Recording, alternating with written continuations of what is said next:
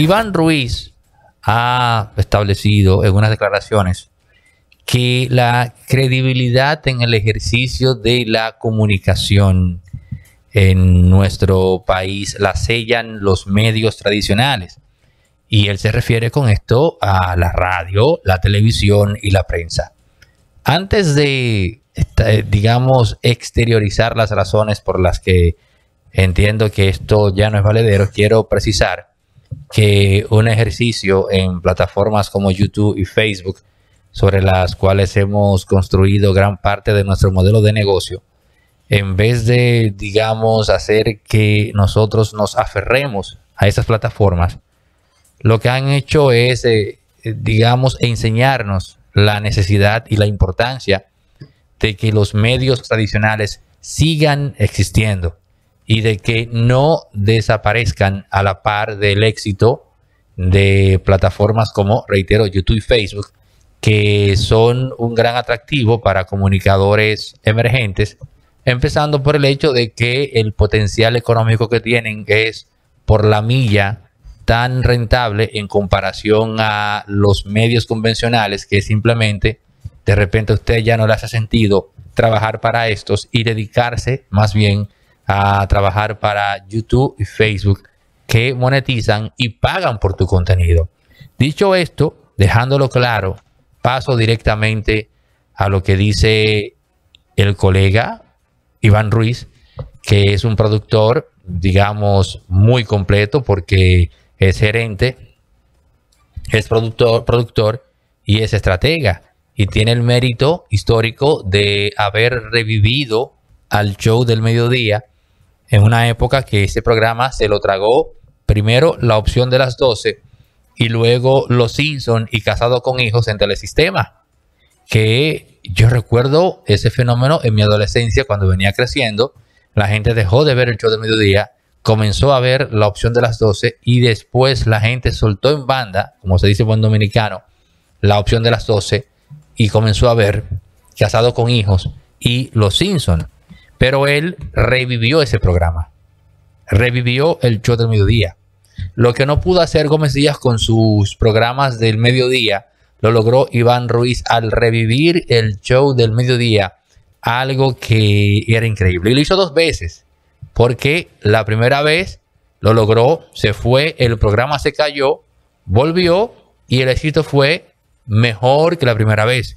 Y ahora tiene el mérito doble de que está haciendo que esos contenidos se viralicen.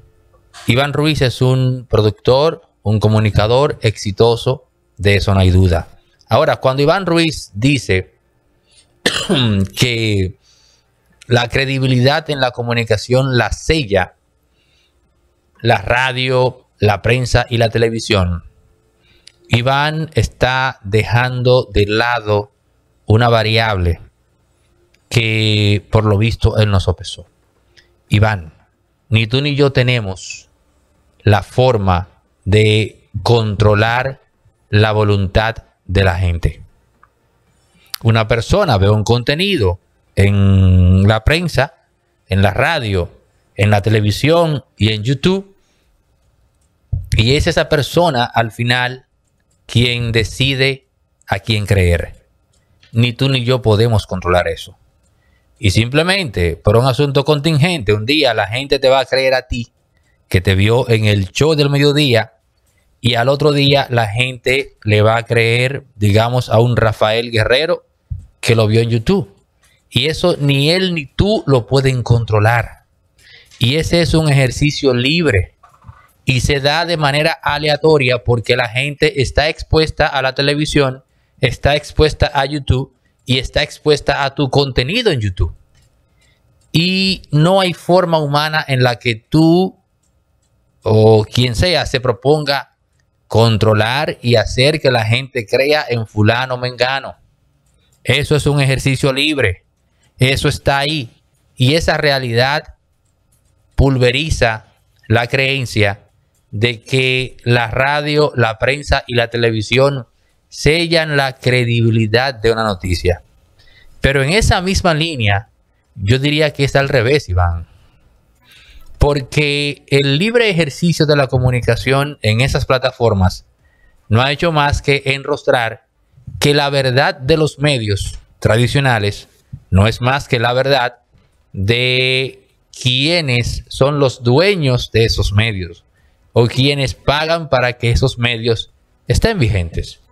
La gente ha sido testigo decenas, cientos de veces de cómo en los medios de comunicación tradicionales se dice una cosa, pero la gente a través de WhatsApp le llegó un video de lo que realmente ocurrió sobre tal o cual hecho que se dice noticia.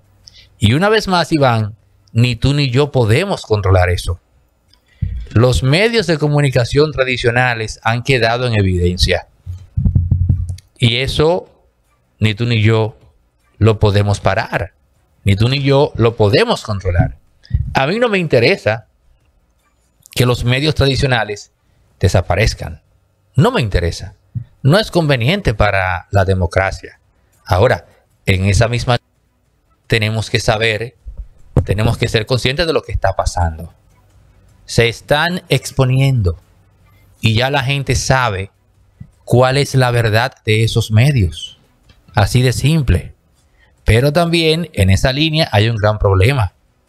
Tú no puedes comprar o comprometer la línea editorial de ningún analista exitoso, exitoso en YouTube que esté generando unos cuantos dólares, porque eso es mucho más de lo que un político o empresario estaba acostumbrando a pagar.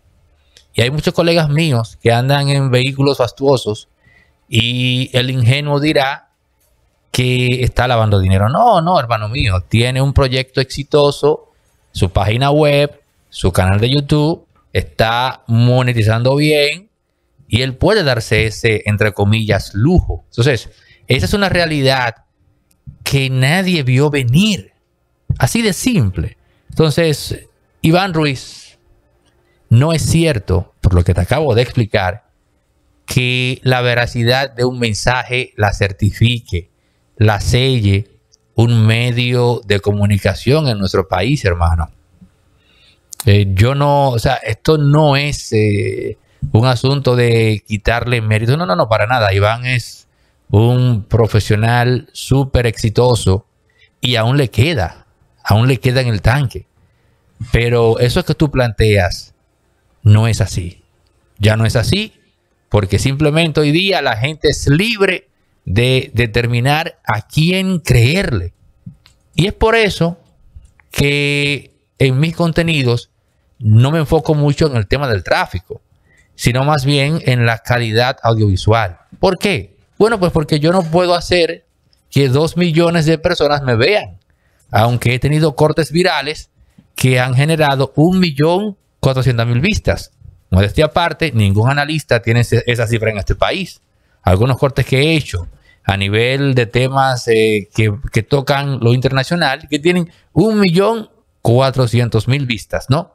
Pero yo no controlé eso. Yo no tuve forma de teledirigir ese proceso. Ese corte simplemente se pegó, se hizo viral en América Latina completa. Pero yo no puedo, yo no puedo teledirigir el tráfico. Yo no puedo hacer que la gente me vea. Eso queda a decisión del público. Ahora, lo que sí yo puedo garantizar es la calidad audiovisual. Eso está en mis manos, pues así lo hago. En esa misma línea, como nadie puede determinar a quién la gente le va a creer, es inútil hoy día decir que la credibilidad solo se da a través de los medios convencionales, tal cual plantea de manera errática Iván Ruiz.